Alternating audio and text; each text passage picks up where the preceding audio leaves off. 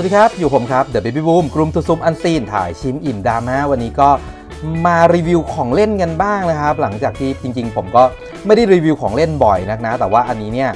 คือซื้อโยโย่ให้ลูกครับ แต่ว่าอันนี้ซื้อมาเล่นเอง ก็อยากได้เหมือนกันครับ นึกถึงวัยตอนเด็กๆ ที่เราเคยเล่นโยโย่กันนะ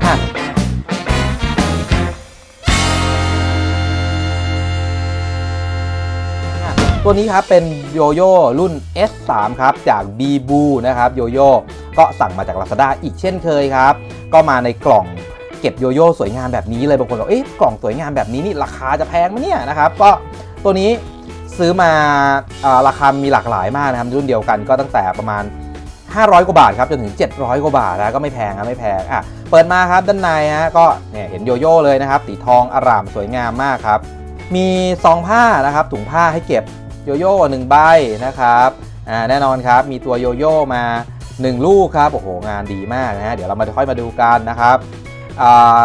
ในใบสั่งซื้อครับเขาก็จะมีแถมเชือกมาให้ฮะเชือก 1 เส้น 2 เส้นครับสามเส้นนะสีเขียวนะครับ แล้วก็ถุงมือครับบางคนถามเอ๊ะเล่นโยโย่ใส่ถุงมือทำไมนะอ่าถุงมือนี่เอาไว้ใส่ข้างซ้ายนะครับ ไว้ใส่ข้างซ้ายข้างที่เราไม่ได้เล่นโยโย่นะสำหรับ เวลาคนที่เล่นท่าเล่นอะไรอย่างเงี้ยคือผมก็เอาเป็นว่าเล่นไม่เป็นเลยดีกว่านะครับซื้อมาหัดเล่นนะอ่าแล้วก็มีกล่องนี้มาให้ถูกไหมอืมครับของก็มีประมาณนี้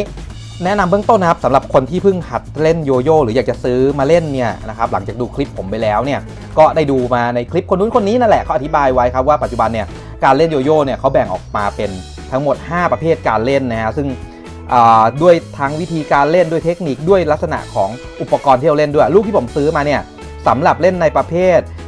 1A กับ 3A นะครับก็คือเป็นประเภทที่ต้องใช้แรงฟรีเยอะๆนะครับให้ลูกหมุนค้างไว้นานๆแล้วก็เล่นท่าโยนไปโยนมาเหมือนที่เรา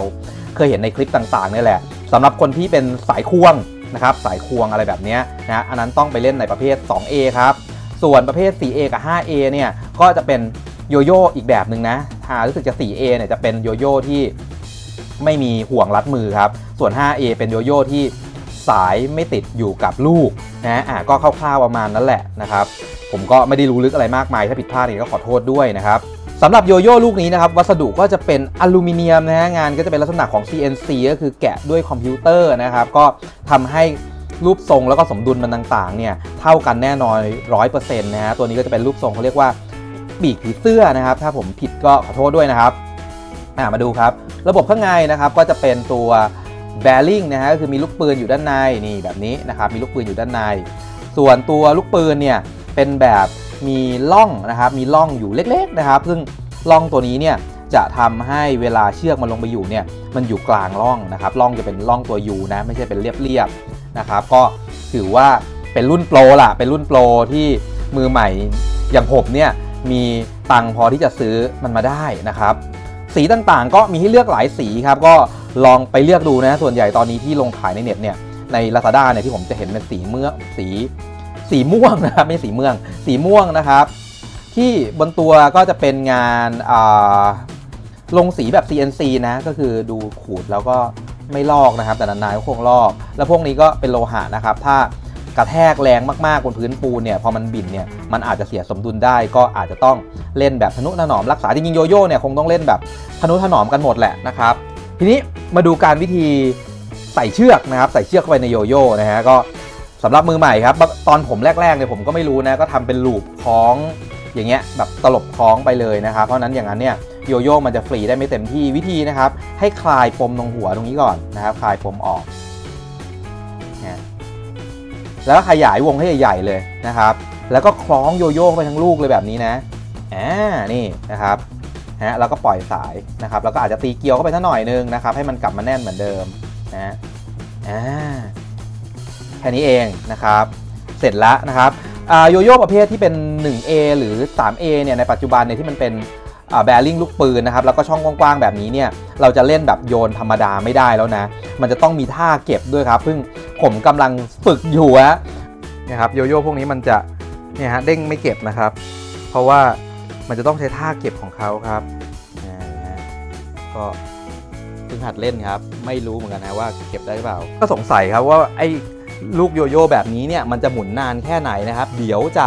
จับเวลาครับ แล้วก็หมุนให้ดูนะฮะอะหมุนอยู่นะครับ อะผมเพิ่งจับเวลาด้วยนะครับ อาจจะหมุนไม่ได้ตรงอะไรมากมายนะฮะเพราะว่าก็เพิ่งหัดเล่นนะครับอันนี้ลูกยังหมุนอยู่นะครับอ่าดูจาก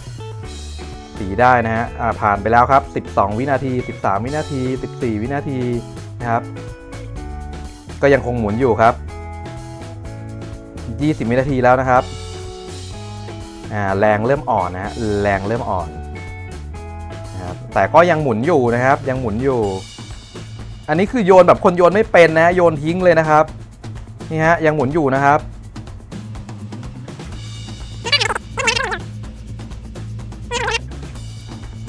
อ่าหยุดแล้วนะฮะก็ประมาณ 1 นาทีครับ 1 นาทีนะครับเพราะเมื่อกี้ก็หมุนไปก่อนที่จะกดปุ่มแป๊บหนึ่งใช่ไหมอ่า